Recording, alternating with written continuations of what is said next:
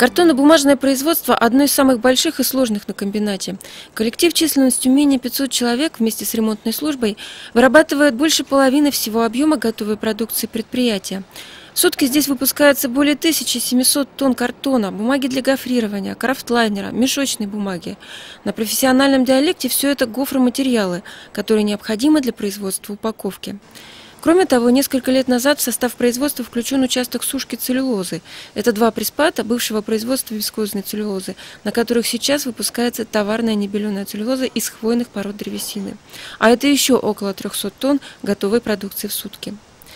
Картонно-бумажному производству было суждено стать лидером с первого дня – в пусковой 64 год строители, монтажники и эксплуатационники приняли обязательство ввести в строй вторую очередь комбината в два раза быстрее первой.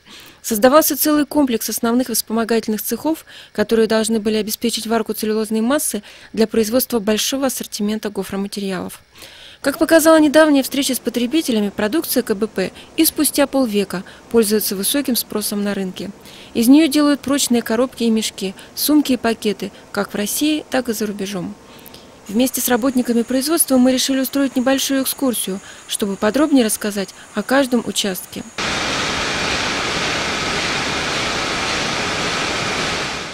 Цех варки целлюлозы изначально был разделен на два технологических потока. На первом участке варка впервые стала производиться непрерывным способом в двух варочных котлах, каждый производительностью около 450 тонн массы в сутки. В 60-е варочные котлы типа «Камюр» такой высокой мощности были первыми в Советском Союзе, а пуск стал настоящим испытанием для специалистов. Сегодня оба котла после многочисленных модернизаций вырабатывают сутки по 630 тонн целлюлозной массы из щепы хвойных пород древесины.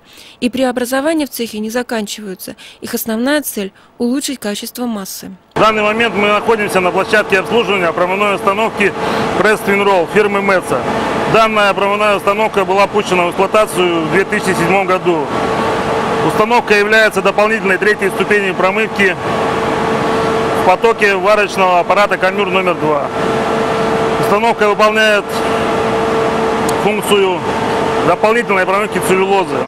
Трудно представить, что варочные котлы когда-то находились на ручном управлении, то есть варщики и диффузорщики, отвечающие за технологический процесс, практически на ощупь определяли качество массы и что еще необходимо делать, чтобы она соответствовала заданным параметрам. В 21 веке во всех цехах применяется современная автоматизированная система управления процессами. Не исключение и варочные цеха. По словам старших рабочих, такая работа доставляет удовольствие, но требует много учиться и много знать. Работа очень интересная, постоянно что-то новое. Каждый год все что-то узнаешь новое. Я даже для себя вроде вот столько лет отработал, а все равно как не останов, все что-нибудь новое там происходит такое. Даже бывает такой стопор зайдешь, да, Приходится искать варианты, выходить с этой ситуации, советуемся между собой, старшие помогают друг другу. Все больше молодых ребят появляются на пультах управления варочными котлами. Они, сыновья и внуки пусковиков, готовы продолжать славные традиции производства. Иван Крутихин, например, получил профессиональное образование технолога ЦПП в лицее. После армии очень хотел попасть на производство, и это у него получилось. Сейчас он трудится в варочном. Без нас никуда никто без нас работать не может. И когда что-то случается, нас вспоминают в первую очередь. А, конечно, варщик кажется более какая, профессия серьезная. серьезная, да, но мы не менее серьезны, у нас не меньше оборудования, ответственности, нам даже в каких-то местах больше, больше на внимание тоже очень серьезно все. Гордость не только картонно-бумажного производства, но всего комбината. Это современный завод нейтральной сульфитной полуцеллюлозы. Он запущен в работу всего пять лет назад. Это второй участок цеха варки целлюлозы, который снабжает бумажные машины целлюлозной массой. С левой стороны котел. На этом котле идет варка, происходит. После варки идет у нас промывка, отжим. И получается вот это. Такая у нас масса. Если раньше две японские варочные установки Хитачи могли вырабатывать в сутки всего около 320 тонн полуцеллюлозы, то сегодня новый завод уже перекрывает свои же проектные мощности, выдавая в сутки более 900 тонн массы. Мы находимся на надметке 0. За мной, за спиной, варочный котел нейтрально-сульфидной полуцеллюлозы. Крупне- Крупнейший в Европе, как говорится. Суточная производительность 900 тонн. И вновь автоматизация приходит на помощь рабочим. Новый завод НСПЦ в смену управляется всего двумя операторами. У них под рукой сразу несколько мониторов, на экранах которых отражена вся оперативная информация о скорости и качестве варки. По словам оператора Олега Михайлова, самое главное – внимательно контролировать процесс. У нас э, рамки анализов есть жесткие. Там промывка, остаточная, помол. Ну вот, это мы контролируем. Бумажный цех картонно-бумажного производства – это первая и вторая бумагоделательные машины, на которых вырабатывается флютинг, крафтлайнер и мешочная бумага. Летом 64-го бумажная фабрика пускалась первой. Машины фирмы «Валмет» требовалось вывести на скорость 430 метров в минуту. Производительность цеха определялась в 130 тысяч тонн мешочной бумаги в год. Со временем, после целого ряда коренных переделок и проектов модернизации, машины существенно увеличили производительность. На них стали выпускать широкий ассортимент высококачественной продукции. Сегодня максимальная скорость машин превышает 700 метров в минуту. Каждая из них производит в год свыше 100 тонн готовой продукции. Последние годы мы провели очень большие модернизации, направленные на улучшение качества бумаги, систему сортирования, профиль полотна, заменили накаты на обоих БДМ. Резко продукции на рулоны согласно заказам покупателей – важнейший производственный участок. Здесь применяются современные продольно-резательные станки немецкого и итальянского производства. Задача резчиков – не испортить труд коллег на машинах, обеспечить высокое качество и точность реза. Станкам без разницы, что резать. Либо бумагу, либо флютинг. На первом обычно флютинг всегда идет. Ну, либо картон. Но в случае необходимости можно и бумагу туда поставить. Люди готовы, они учатся и на том, и на этом. У нас обычно резчик первого станка, он умеет и на втором, и наоборот. Картонная фабрика. Она всегда считалась самым трудным участком для пуска и эксплуатации. Здесь установлены две картоноделательные машины шведской фирмы КМБ с расчетной скоростью 340 метров в минуту. Предполагалось, что вместе они станут производить около 270 тысяч тонн продукции в год.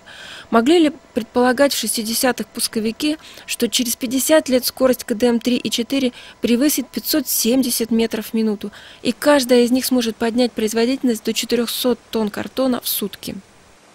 Качество поступающей массы стало намного лучше. То есть э, завод НЦПЦ новый. Соответственно, тут и на машинах кое-что поделано. Напорные ящики там модернизацию прошли, пароконденсатная система. Машины стали стабильнее работать, меньше стало рвать, меньше брака на машинах стало. АСУТП новая, да, идет, как это поставленная. Стабильнее стали работать. На смену ветеранам приходят молодые ребята. И пусть у многих из них уже есть вузовский диплом, они начинают с АЗОВ, чтобы лучше разобраться в технологии. Например, бригадир на участках основного производства Олег Иванов по образованию инженер, а начинал на КБП, как и все, сушильщиком. Сегодня он отвечает за качество упаковки продукции, а это очень ответственная задача. В обязанностях, чтобы работала вся транспортно-упаковочная линия, чтобы все продукция доходила до потребителя в целости, сохранности, хорошо было упаковано. Примерно 50 рулонов в час это пропускается. В среднем рулон, если весит от тонны, то более 50 тонн проходит в час. Еще есть вторая, картонная. там Там, там тяжелее, рулоны больше, там от 2 тонн рулоны весят. Поэтому там еще больше проходит. Не секрет, что именно на картонно-бумажном производстве растят самых сильных профессионалов. Кто прошел эту школу, не забудет ее никогда. А сколько известных на комбинате фамилий так или иначе связано с историей этого производства? За все 50 лет истории не сосчитать. Я пришла на комбинат, э, когда училась в лицее номер 5, в группе ТУ после, 11, после 10 класса. И на практику я попала сюда, в производственную лабораторию картона-бумажного производства.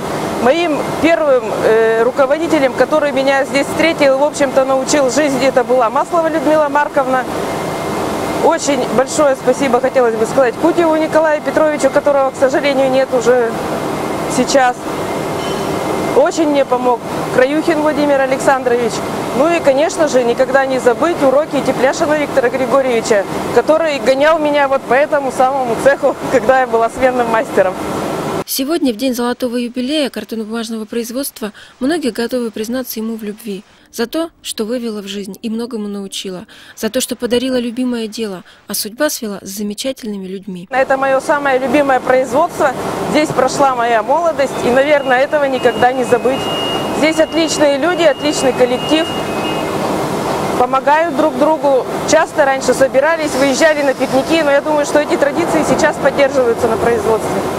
В юбилейные дни от всей души присоединяемся к теплым пожеланиям добра и здоровья всем работникам производства. Будьте оптимистичными, сильными, уверенными в себе, и у вас обязательно все получится.